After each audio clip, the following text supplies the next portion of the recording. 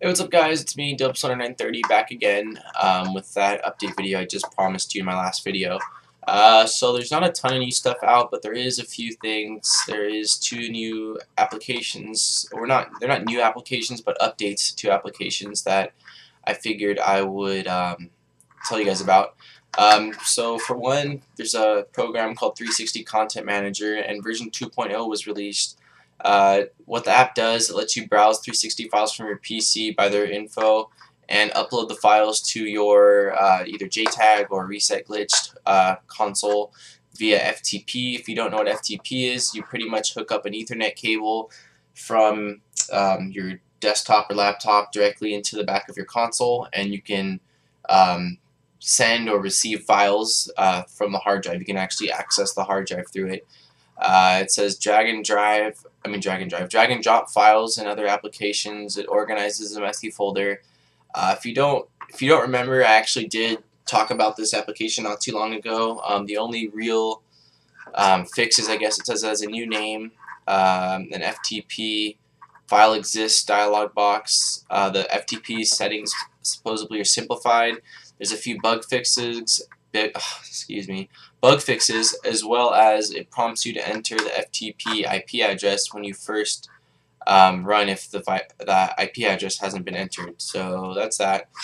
Um, a pretty big update from C4Eva uh, speaks his website. If you don't know what C4Eva is, it's the guy um, in charge of releasing all of the LTs and things like that. There is a huge, huge article um, talking about the new Dash update and the whole issue with uh, the um, dae.bin uh, files.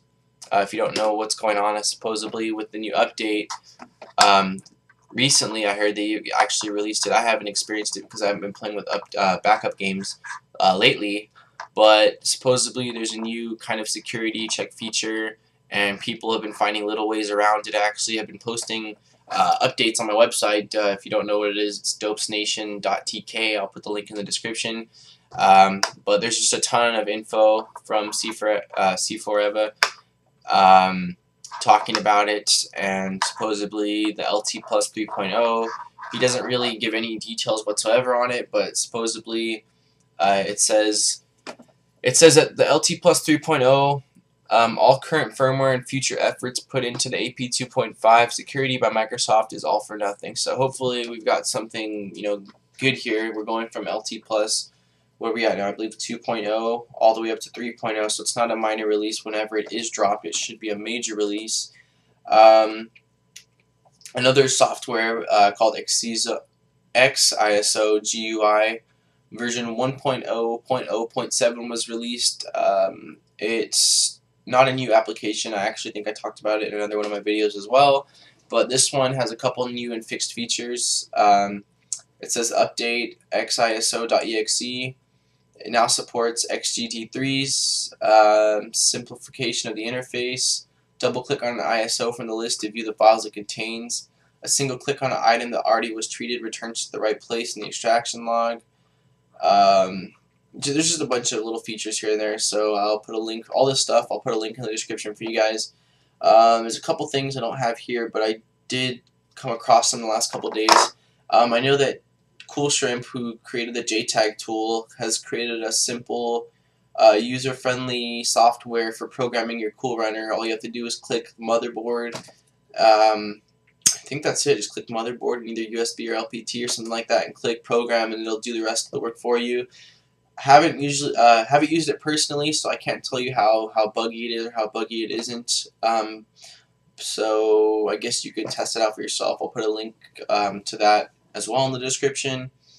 Um, and also, this is totally random and nothing new, but uh, if you guys haven't heard, I believe about a month, month and a half ago, Freestyle Dash was talking about a new dash, completely new reamp dashboard called RXE um, with Kinect interface and a whole bunch of different features with cool cover flow, totally customizable.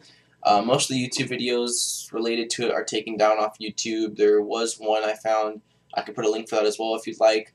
Um, but uh, Freestyle's actual website was taken off the line, so I don't know whether Microsoft is prosecuting them or what the deal is with that. So hopefully they'll actually end up releasing it because since the initial launch of their video, there hasn't been any any big updates or anything like that. So, um, yeah, I don't know. Hopefully, hopefully they do somehow, even if their website is down. Hopefully they're still working on it and it does get released. Because, like I said, if I can find that link to the video and you check it out, it looks pretty badass. It's totally reamped, completely new user interface, tons of features and stuff like that. But, um, and yeah, I think that's about it, guys. So.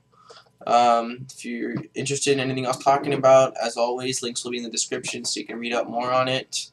And uh, once again, thank you to all my subscribers and my followers. If you do like my videos, please like and uh, subscribe to support me.